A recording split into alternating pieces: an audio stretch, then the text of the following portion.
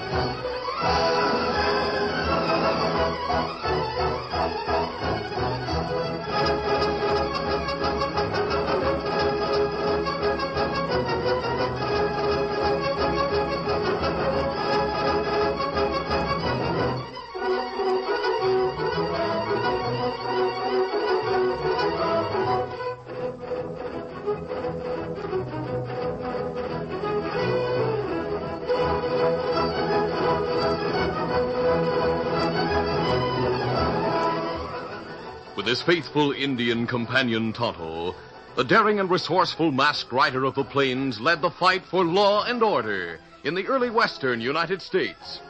Nowhere in the pages of history can one find a greater champion of justice. Return with us now to those thrilling days of yesteryear.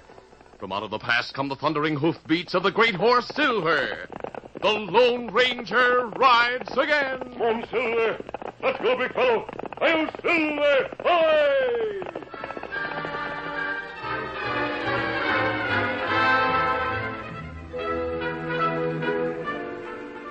Rufe Payne, the burly president of the Northwest Lumber Company, looked up from a stack of reports he had been studying. Seated with him at a table in the company's office in Walla Walla were four other men and a girl. Anxiety showed on the faces of two of them. They were young Larry Kent and Old Man Jordan, who shared the ownership of the lumber enterprise with Payne. Bill Collins, a rival lumberman, looked bored. The other members of the group were Mac McLean, the Northwest Lumber Company's superintendent, and his daughter Jean. Payne shuffled his papers and took a deep breath. The Northwest Lumber Company is whipped. What? At the rate we're losing money, we'll soon be broke. That can't be. Larry, you're an Easterner. You don't know the ups and downs of the lumber business. I know I put every dollar I had into the company after you told me I could double my money. A year ago, I thought you could. Now, the only way we can get back any part of our money is to sell our mills and timber tracts. Bill Collins of the Collins Lumber Company is here to make an offer. Bill. I'll make my best offer first. Forty thousand dollars. Why, that's less than 10% on our investment. Rufe, I want to know why we've gone into the red when lumber prices are still high. I can tell you the reason, Mr. Jordan, but I'd rather have you get the story firsthand. That's why I had McLean and his daughter Jean come to this meeting. I don't believe I've met them. Mac is our general superintendent, and Jean helps him. Don't stare so, Larry. I'm not exactly a female lumberjack. I keep books. Oh, I, I beg your pardon, Miss McLean. Don't be so formal. Just call me Jean. Well, let's get back to business. Mac, tell Jordan and Larry what's happened. During the last few months, half of our logs have been rustled. Rustled. How in the name of Billy O could anyone steal that many logs? Mr. Jordan, you know how we float logs down the Columbia River in rafts of 100 to 500? Of course I know. Well, the rustlers get them before they reach the mills. They probably sell the logs to some crooked sawing outfit. I don't understand about these rafts. Are the logs nailed together? No, Larry. They're floated together in rows, then surrounded by other logs called boom logs, which lie end to end and are attached to each other by chains. Oh, thank you, Jean. That's neither here nor there. Mac, I want to know what you've done to stop the stealing. First off, I notified Sheriff Barstow. He's been working on the case ever since without getting anywhere. Then what? I put our men on the rafts. Four of them disappeared along with the rafts. They were murdered, I suppose. I can't get any of the boys to ride the logs now. You can't blame them for that. Have you given up? Not by a jugful.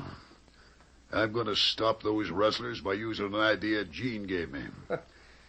What is the idea, Jean? Well, when I was in Texas this spring, I saw how cattle are branded. I told Dad to brand the logs on both ends using the company's initials. What good would that do? The thieves would simply saw off the ends. But then the logs and the lumber that came from them would be an inch or so short of standard lengths. Well, of course, a 16 foot log could be sawed down to 12 and a 12 to 8, but that would take a lot of the thieves' profit. And not only that, they'd have all the ends left. It would be a big job to burn them without arousing suspicion. Mac, have the other companies lost as many logs as this concern? Well, they've had trouble, but their losses don't compare with ours. You see, their mills are upriver, close to their logging camps. Our mills are here in Walla Walla, much farther away from the camps and timber tracks. So the thieves have a better chance to steal from us. Mac, I don't think that tomfool notion of your daughter's will do any good. Never knew a woman to have a good idea. So I'm in favor of selling out. So am I. Well, I'm for holding on and fighting. I'd rather lose everything than let a gang of river pirates force us into a sale. That's the way I like to hear a man talk. Be reasonable, Larry. When I know I'm right, nothing can change my mind. You and Jordan may sell your shares if you like. I'm keeping mine. Maybe Mr. Collins will buy you out. I want the whole thing or nothing. Well, Mr. Collins isn't the only possible buyer. You look for another one while I look for the thieves. I may hire a private detective to help me. A private detective? Right. But first, I want to see for myself how things stack up at the logging camp. Mac, I'd like to go along with you and Jean when you return to the camp. Come right along, sir. We'll soon be taking the upriver boat. A few minutes later, Rufe Payne and Bill Collins were alone in the office. Rufe clenched his huge fists and said, Oh, that stubborn Easterner. We can't let him get a private detective. I'll say we can't. We'll get rid of him before he makes any trouble, and then buy his share from his heirs. We'll get rid of McLean, too. Why McLean? I don't want him to start branding logs. That sort of thing would just about stop the rustling. Well, that's so. Once I become owner of the Northwest Lumber Company, we can pirate logs all along the Columbia River. We'll make the other outfits sell out to us for a song and get control of the whole lumber industry around here. Well, that sounds good, but how are we going to put Larry Kent and McLean out of the way? We'll do the job ourselves. We'll go up to the camp in the company's steam launch. Our excuse will be that you've changed your mind and want to look at the timber before buying out Jordan and me. I'm in this thing too deep to quit now. Let's go. It was two weeks later when the Lone Ranger and Tonto, riding southwest toward the Oregon Trail, reached a point where the broad Columbia River flowed through the thickly forested foothills of the Cascades. They were returning from the Nez Perce Indian country, the scene of a recent outbreak. As they guided their horses through the towering pines, Tonto said, Me not like big woods, Kemosabe. Too many places for ambush. This is a wild country. They won't stay wild much longer. There are many logging camps along the river. Look, we come to trail. It's what the loggers call a skid road. We'll follow it. Come on, big Come, fella. Scout. Come, fella. As the masked man and Indian turned their horses into the logging road, Jean McLean and Larry Kent sat on a fallen tree in a clearing with which the road connected. The girl was saying, Larry, I'm afraid that something had happened to Dad. If he ran into those log rustlers, I... We're doing all we can to find him. I called in Sheriff Barstow. He and all of the lumberjacks are searching the woods. Rufe Payne and Bill Collins are looking for him along the river. They stayed on at the camp just to help. But this makes the third day since Dad disappeared, and no one has found a trace of him. Oh, I do wish we could find his tracks. How would you know them, Jean? Dad is the only man around here who wears boots without hobnails or caulks. You see, he doesn't have to walk on logs, and we have a nice carpet in our cabin. I see. Larry, I, I keep thinking of the log thieves. I'm thinking about them, too.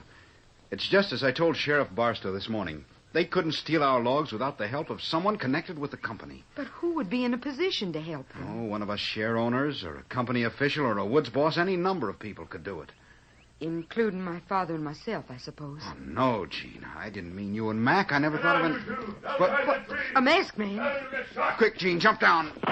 Oh, I, a shot. Larry, Larry, let me help Hold you. on. Oh, easy, steady, big fella. I'll take care of him, miss. What's happening over there? My friend Tonto is after the man who shot you. Now, let me see your arm. Oh, you're lucky. You have only a slight flesh wound. Oh, thank heaven. Here, miss. Take this knife and cut off his sleeve while I get a medicine kit for my saddlebag. All Mister, right. I thought for a moment that you shot me. That mask. Don't let it disturb you. The shot was fired from behind a tree, the other side of the clearing. There. I'll hold your arm higher so I can bandage it. If it hadn't been for your warning, I suppose I'd be dead. I was jumping from the log when the bullet hit me. My friend and I saw the barrel of the gunman's rifle just as we reached the clearing. Who would want to kill you? As the Lone Ranger finished bandaging Larry's wound, the young Easterner told how McLean had disappeared and how he himself had planned to hire a private detective to investigate the log rustling. The masked man observed. Apparently, the attempt on your life has some connection with the log stealing. The thieves may fear that your detective would learn their identity. That must be it. Here comes Sheriff Barstow. What's going on here, Mr. Kent? Say, who's that fellow with you? He's wearing a mask. I don't know who he is, but he saved my life. Somebody tried to murder me. I heard the shooting. Now, mister, what about that mask? Perhaps you better listen to Larry's story before we go into that. Well, maybe I had. Go ahead, Mr. Kent. Larry quickly related what had happened. As he concluded, Tonto rode out of the standing timber. Thunderation. Now, there's an engine coming. My friend Tonto has been hunting the bushwhacker. Oh, Scalpo, fella. Easy, Scalpo. Easy, fella. Fella who shoot, get way. Him run into brush. Maybe we find trail later. Is that his rifle you're holding, Tonto? Or him in- drop it by tree before him see me. And me not savvy that. Let me see that Winchester. Uh, you take it. Ah. I thought I knew this rifle. It's Mac McLean's. See his initials on that brass mounting? That is Dad's rifle. Where fellas stand when him shoot, me find plenty tracks. Him wear small boots with small, smooth soles, smooth heels. McLean's tracks. Everybody knows about his boots. But why would Mac shoot me? Oh, he didn't, Larry. He had no reason to do it. He liked you. Now, hold on, miss. Your father had a better chance than anyone else to be mixed up in the log rustling. What? He pulled the wool over my eyes by having me look into the case. Sheriff, you don't mean I that. sure do mean it. McLean's a bushwhacking crook. That's plain as the nose on your face. He's been prowling these woods for three days, waiting for a chance to drill Mr. Kent. I can't believe it. Oh, you can't. Well, let me tell you something. The way it looks to me, this here girl of his led you to this clearing, got you onto a log, and set you up as the target for her old man. No, don't listen to him, Larry. Kent, I'm deputizing you to hold her while I round up the lumberjacks. They're going to help me get McLean even if he is their boss. Am I under arrest? What do you think? I aim to question you later, and I don't want you running away. Sheriff, it seems to me that you're being rather hasty. I don't want to interfere, then but keep I'm... out of this. Now, Mr. Kent, take that girl back to camp. Larry, this is terrible. Sheriff, I don't want to be a deputy. You can't refuse. It's the law, and you're responsible for holding her. Here's one of my guns. Take it and use it if she tries to get away. I won't run away. Just take me to camp. No, I'll go after the lumberjacks. Come on, you men. Tonto, describe the man who shot Larry. Well, him about six feet tall. Wear blanket coat, cap. Me not see face. Him have back turned. Well, Larry, The description fits, Mac. But I still don't believe that he and Jean had anything to do with it. Uh, Kemosabe. yes? Me think of something else. That feller run like him got hurt in feet. Hmm. It appeared that he deliberately left the rifle. That right? Tonto, the sheriff overlooked the possibility that the would-be killer has another weapon. May try again to murder Larry. See that he and Miss McLean reach camp safely. I'll look for the gunman's trail. Ah, me take care of him. Larry, stay inside with Miss McLean.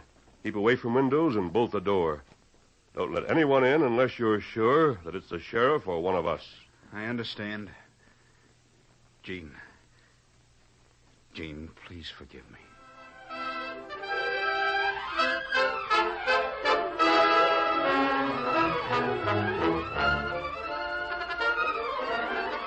The curtain falls on the first act of our Lone Ranger adventure.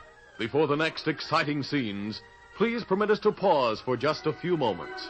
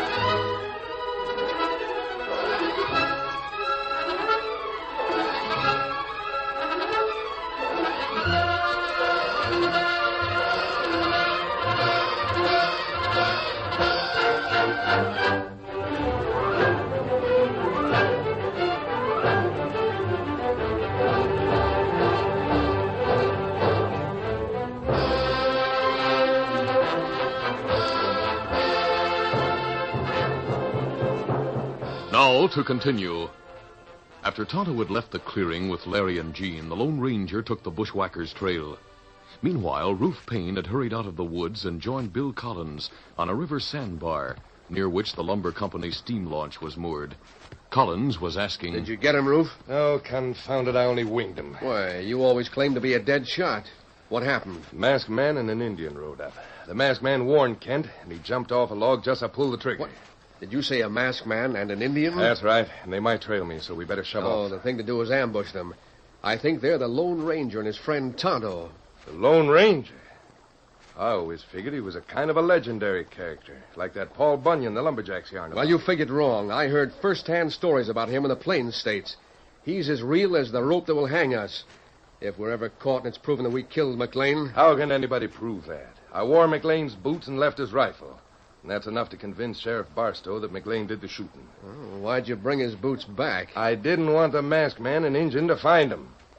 Then it may be I'll need him again. They pinched my feet. I could hardly wait to get him off. Toss him into the boat.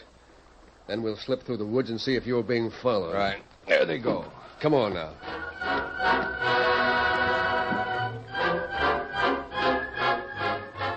A half hour later, Tonto returned to the clearing, his mission completed.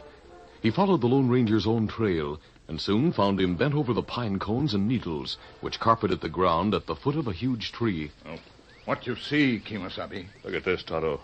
The gunman sat here and changed boots. The boots were too small for him. Oh, and that's why me think him got sore feet. Boots him changed to inch shorter. From wave tracks look, them got hobnails and soles. Tonto McLean didn't shoot Larry. An attempt has been made to frame an innocent man. Perhaps a dead man. At that moment, there was a slight stir behind the surrounding curtain of brush and low hanging evergreen boughs. The masked man and Indian straightened and turned, drawing their six guns. A rifle cracked. Bark flew from the trunk of the big tree.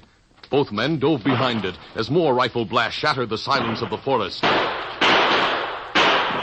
Then they began firing back, aiming below the smoke of black powder, which drifted from the screen of needle bearing limbs. Tonto, there are two of them. Work your way around in back of them. Me think one of them try same thing. Only one gun shoot now. I'll watch for a trick. Uh, then me go. Dodging from tree to tree, Tonto melted into the gloom of the pine woods. The Lone Ranger cast quick glances in all directions. Then, from the brush in front of him, a voice called. I'm wounded. I give up. Come out with your hands up. I can't walk. Then crawl. All right. I'm crawling.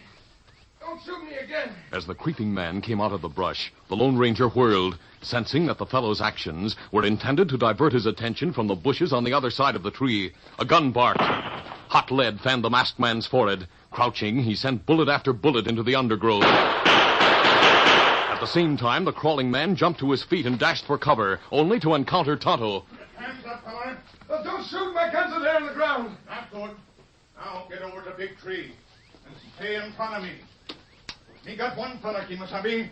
Where other one? He's still hiding in the brush on the other side of the tree. This way, boy. Oh, that sounds like sheriff. It is the sheriff. There's a gang of lumberjacks with him. Masked man again. Masked? What was that shooting about? Sheriff, we've captured one of two men who tried to kill us. The other one is hiding over there. He may fire again. Make them release me, Sheriff. Thunderation. That's Rufe Payne you fellows are holding prisoner. Rufe, how come you fired on him? Bill Collins and I thought they were outlaws after seeing that man's mask. Well, then I don't blame you for shooting. I thought he was a crook myself when I first saw him, but he helped hang the deadwood on Mac McLean for shooting Larry Kent. What? Has Larry been shot? McLean nicked his arm with a bullet. The way I figured, he was scared that Kent would find out he was mixed up in the log rustling. Tonto, does this man resemble the one who shot Larry? Well, him same height, same build. Got same kind clothes. Are you fellas trying to hang that shooting on Rufe? He or Collins may be guilty. We were on the trail of the gunman when they attacked us. Bill Collins, come out here. You'll be safe. That masked man almost plugged me. Oh, him that fella me see.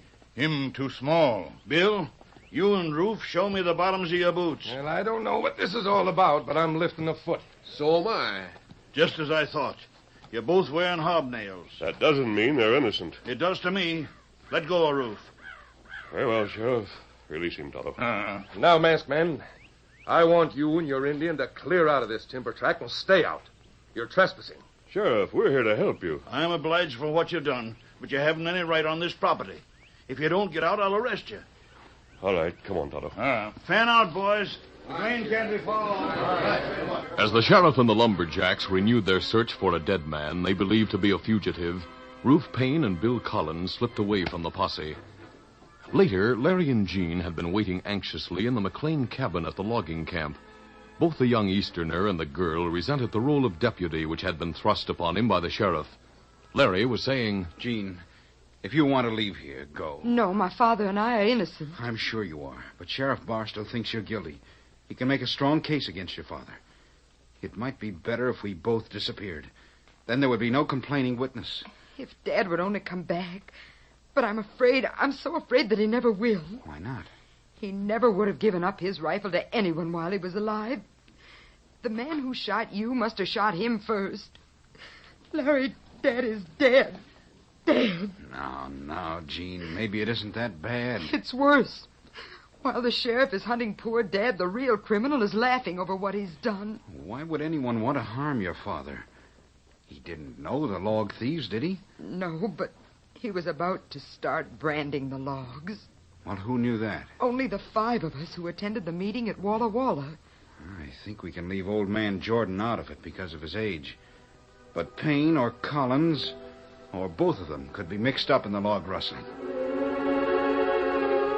a few minutes later, there was a knock on the cabin door. Who's there? Rufe Payne. Thought I'd drop in, see how you are. Payne. Don't open the door, Larry. Remember what the masked man said. This is our chance to find out what he knows. I'll let him in. I have the sheriff's gun in my pocket, and I'll keep him covered. What's the matter, Larry?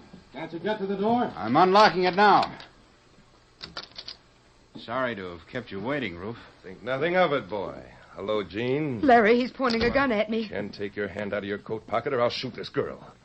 I know you're sweet on her. Don't shoot. There's my hand. Now take off your coat and drop it on the floor. I'll take it off. But what are you going to do? Kill you and take the girl where I can dispose of her later. You're crazy. You can't get away with this. Oh, can't I? Kent is going to look as though McLean came back, finished you, and rescued the girl. The sheriff will find his boot prints all around the cabin. A dead man What? makes a perfect alibi. You you killed Dad. I get rid of anyone who stands in my way. You shouldn't have thought of that log branding idea, Jean. And you, Kent, shouldn't have refused to sell your share in the company. So that's it. Yeah, that's it. Bill Collins and I'll soon own every lumbering outfit along the river. No, you won't. You'll hang. For what? The sheriff will go on looking for McLean.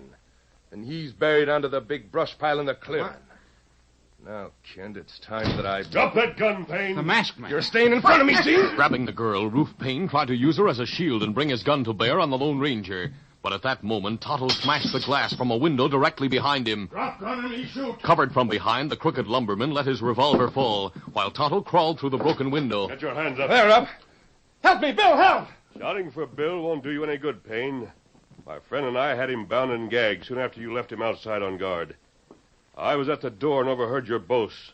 You said enough to hang both of you. Oh, that was only talk. I didn't mean a word of it. I was playing a joke on the young Easterner. It's no joke when you wear a murdered man's boots. You even sliced the leather in the toes so they wouldn't pinch. Tonto, tie him up. Uh, me tie him up. Tonto and I thought you'd make another attempt on Larry's life. That's why we followed you here. As the Indian holstered his guns and drew several rawhide thongs from his pockets, the killer charged him, knocking him back against the wall. No, You'll never hang me! He jumped out the window. Stop, Payne! Stop or I'll shoot! You hit him. That not stop him. Him running to river. Come on, Tonto, out the front way. We can't let him get to a boat. Stop, feller.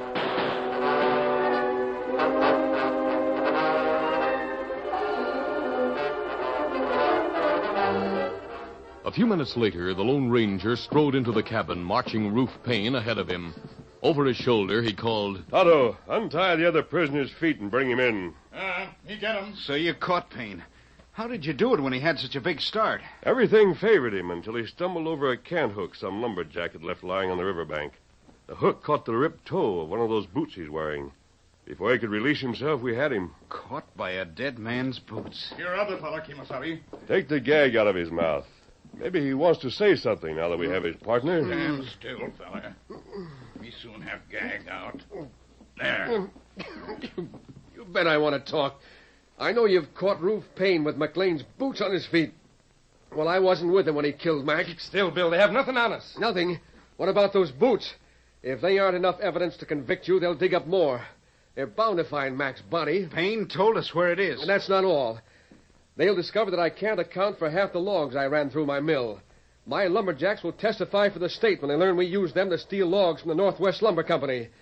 I'll make a clean breast of everything to the sheriff. I know I'll go to prison for stealing, but I don't want to hang for McLean's murder. Tonto, tie Payne and Collins, and we'll go. Ah, me do it. I thought you'd wait for the sheriff to return. No, that's not necessary. Those crooks deceived him once, but they'll never be able to lie out of the evidence you have or the statements they've made. Larry, all you need to do is guard the prisoners until the sheriff comes back. He'll recover Mr. McLean's body and see that justice is done. Poor Dad. It, it was all my fault that this happened. Miss McLean, I, I'm sorry about your father, but you mustn't blame yourself. But he was killed because I thought of branding the logs. Men have died for ideas before, but they didn't die in vain. The ideas live on. In time, every log on the river will be branded. Crooks like Payne and Collins will find it almost impossible to operate. And me got prisoners tied plenty tight. They'll not get away. All right, come on. Adios, Miss McLean. Adios. Larry. Adios. Goodbye. Well, Rufe Payne, you've come to the end of the trail. And that's no credit to you, Kent. You and the girl would be dead now, and I'd be king of the Columbia River. Except for the Lone Ranger.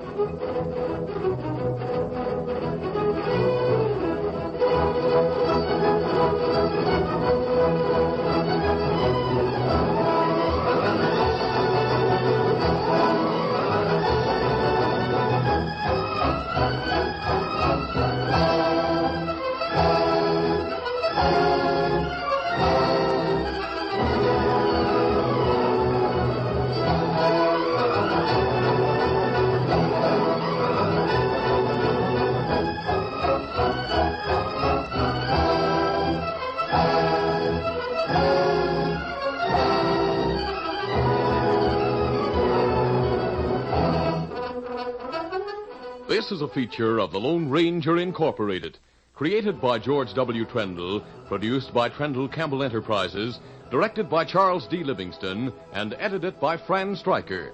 The part of the Lone Ranger is played by Brace Beemer.